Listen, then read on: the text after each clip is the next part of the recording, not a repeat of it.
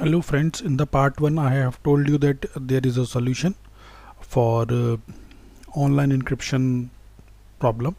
And uh, now we are going to discuss the solution. So please watch it the, uh, watch the complete video. So come first of all open uh, Google and type Emisoft E M I S O F T. So when you open Emisoft you will get a website like this right so you here you can see that this is emisoft.com and there is come to this option tools. When you click on tool uh, tools you will get ransomware decryption. So when you click on this right click this you will get a page like this right? And on this page you will see how this tool is going to work. So to find whether your system is having an online or offline uh, decryption or whether it is going to work or not.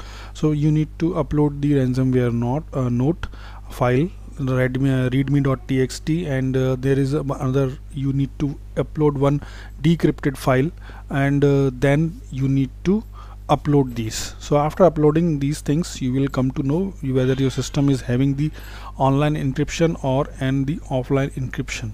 So if you come to below this this point right there is there are few file extensions mentioned here uh, for this uh, ransomware tool is going to work. You can see a big list right and also um, which uh, there are certain tools which are going to be work for this. So here you can click this and you will get a list of all the tools. When you click on this you will get a list of tools like this.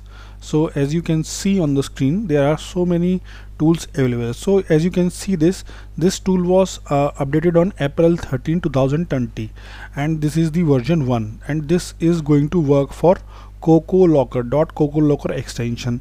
So you can download this if your system is infected with uh, with this dot CocoLocker uh, decryption and if it is some other uh, encryption there are lots of uh, uh, uh, tools given here and uh, you can use this for my system. Like my system is infected with dot OPQZ and uh, specifically for that there is a tool that is Emisoft for uh, DJVU but this uh, tool has not been updated since October 2019 so still I am waiting for the solution and hope that you will find solution uh, and your files will be decrypted with the help of these tools. You, you can check these tools.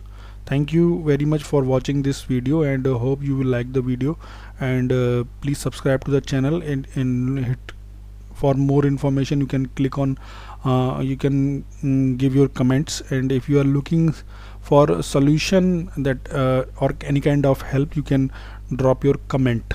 Thank you thank you for watching the video